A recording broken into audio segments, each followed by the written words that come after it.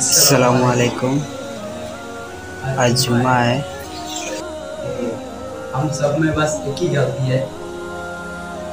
वो बस हम सब तो अल्लाह को मानते हैं। मगर अल्लाह की एक बात को भी हम लोग नहीं मानते। तो अगर मानते हैं तो आज जुम्मा है। चलिए सब लोग मिलके magana masu rani.